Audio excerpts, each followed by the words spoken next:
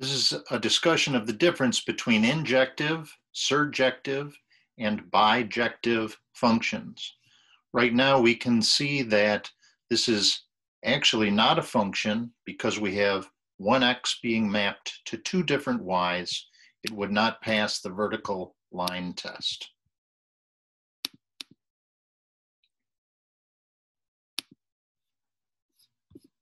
This would be an injective function if every y had at most one x. So if we eliminate these two elements to remove that mapping, we have an injective function. You can have a lonely y over here, so to speak.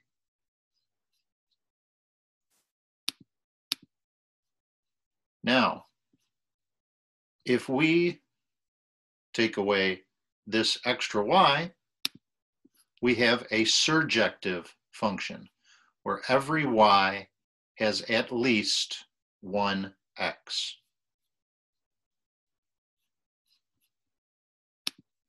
Now, if we take this mapping and change it to this, now we have a bijective function. It is both injective and surjective at the same time. Bijective functions are also referred to as one-to-one and onto because of the way that they map one x to one y.